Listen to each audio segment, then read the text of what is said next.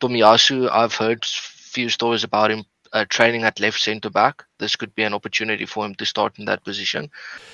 If Cedric plays, then maybe Cedric can be right back, and then you can have a centre back partnership of Holding on the right and Tomiyasu as a left sided centre back. And it must be frustrating for people like Tomiyasu, and in, in a, in a I'm not saying in a bad way, you know.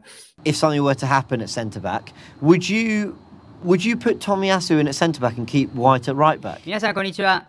いつも多くのライク、そして多くの視聴ありがとうございます。今回の動画は300ライクでアーセナル対ボドグリンプトの試合後のレビュー動画をアップロードします。その動画には冨安選手が、えー、おそらくスタメンで出ると思いますので、えー、この試合での彼の評価をするアーセナル現地サポーターの動画をアップロードします。えーと、まずはそのスコア予想プラスゴールスコアラーを1人だけ当ててみてください。当たった方にはこのステッカーが、えー、プレゼントされますので、多くのスコア予想をお待ちしております。で、こちらが、えー、今のスコア予想ランキングになります。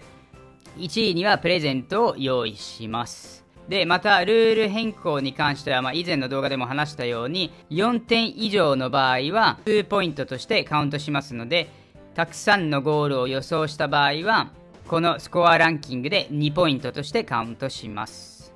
では、こちらが、えー、富安選手を評価するアーセナルサポーターの動画になります。Um, defenders, defenders, defenders. Right back, um, I think it's obvious. Um, Tomiyasu will play at right back. Um, ben White has been playing very, very well, and um, we, we would have missed Tomiyasu if if Ben White wasn't playing at right back or he wasn't capable of playing at right back. We definitely have missed Tomiyasu because um, Cedric is also out injured and basically wouldn't have had anyone else to play there, would have to move things around. So Ben White playing in that position has really helped us. No one has actually missed Tomiyasu because Ben White has been so, so good in that position. But in this competition, Tomiyasu comes back in. We know his qualities as well. Like imagine replacing Ben White and Tomiyasu. Like that feels so good. Like it's basically like we haven't changed anything. He starts in that position. In the second half, he might come off or he might play all 90 minutes. Let's see how that one works out. Um, with, with Tomiyasu obviously coming back from his injury, he needs a full a full 90.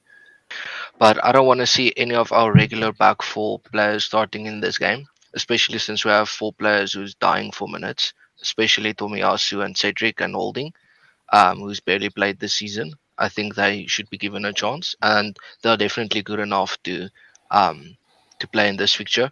Tomiyasu, I've heard few stories about him uh, training at left centre back. This could be an opportunity for him to start in that position, uh, especially if, let's say, something happens to Gabriel in the future.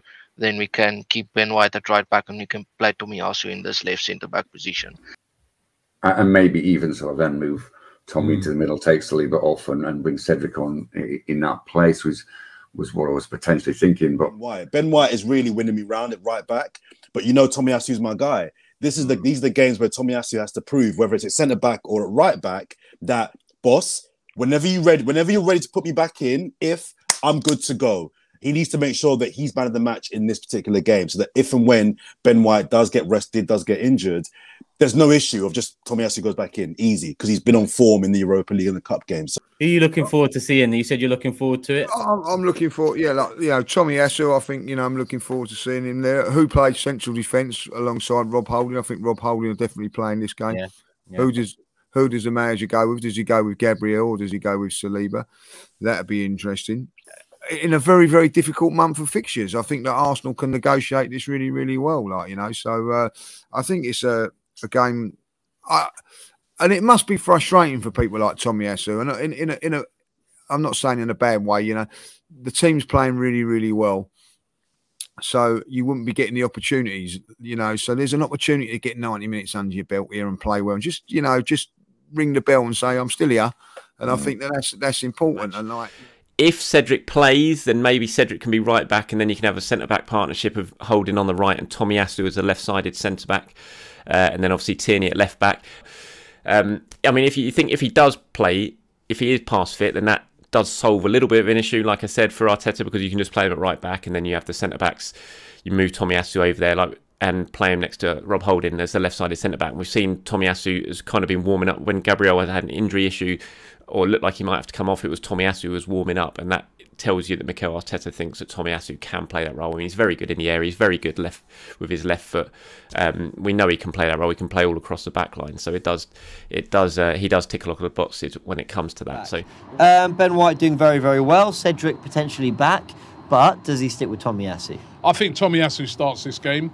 Um, I mean, the thing I'm thinking is, could he possibly play Tomiyasu as a centre back, and you know maybe play Cedric? But I think the fact that Cedric's only just coming back, I don't know if he'd want to risk him right from the start. So I'm going to go for Tomiyasu coming in at right back.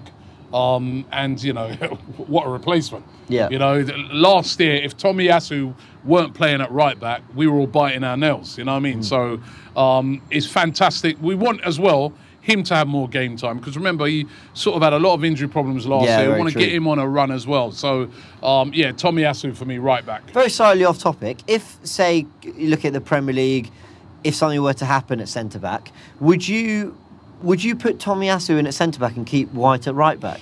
Because he's been doing so well there, you, Ben you, you White. Can, you could you can do that because Tomiyasu has played as a centre back when, right he, was over, when, well. he was over in Italy, and you can see how combative he is and that. I think he'd do a great job as a centre back. Um, but you know, let's get him back in at right back, playing Yeah. games. You know, and this is an ideal opportunity for him. Yep, agreed. Okay. こちらがアーセナルの現地サポーターが、えー冨安選手を評価する動画になりました。で、ヨーロッパリーグのボドグリント戦は金曜日の朝4時に、えー試合が行われます。こちらが予想スタメンになります。えーおそらく右サイドバックでは、えー冨安が、えースタートから出るのではないかと、えー思います。おそらくほとんどメンバーを入れ替えるのではないかと、えー予想しています。えただし、まあ、ボドグリントも決して悪い相手ではないので、昨シーズンもコンファレンスリーグで準決勝まで進んだチームであり、えーその前のシーズンもヨーロッパリーグで結果を残しているチームなので、決して弱い相手ではないです。上にあるのが、えー今の10位になります。ボドグリントが、えー勝ち点4で1位、アーセナルは勝ち点3で2位です。で最近のフォームに、え関してなんですけど、アーセナルはユナイテッド戦以外は、リーグでは全勝しています。そして、ヨーロッパリーグでも FC チューリッヒに2-1で勝っています。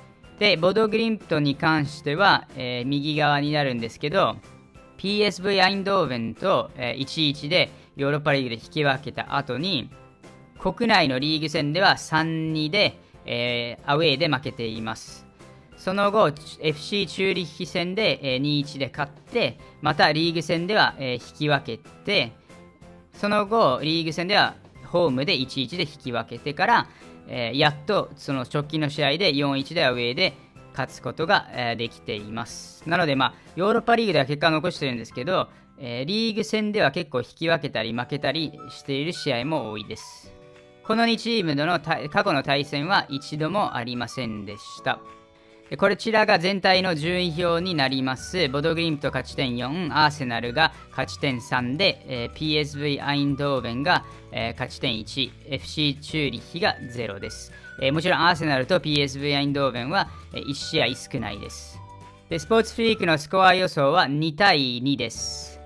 え2対2という予想をしているのはアーセナルは B チームで、えーほとんどメンバーを入れ替えた状態でプレーするからです。メンバーをそう入れ替えして、えーほとんど、えー普段その試合に出ない選手が試合に出場するので、まあ、2対2というスコアを予想しています。スタメン予想の時にも話したようにボードグリントは決して弱いチームではないし昨シーズンもその前のシーズンもヨーロッパでえーサプライズを起こしたチームですので今回はそのほとんど、えメンバーを入れ替えた状態ですので2対2という予想をしています。皆さんも、えこの試合のスコア予想をしてみてください。スコア予想プラスゴールスコアラを1人当てればプレゼントも当たります、まあ、この、えースポーツフリークのオリジナルステッカーが当たります。では今回の動画もこちらになりますが300ライクで、えー試合後のレビュー動画、えー冨安選手が評価される動画もアップロードしますので多くのライクを残していただければと思います。そして、えー毎日のように新しいコンテンツをアップロードしているのでチャンネル登録と通知をオンにしていただければと思います。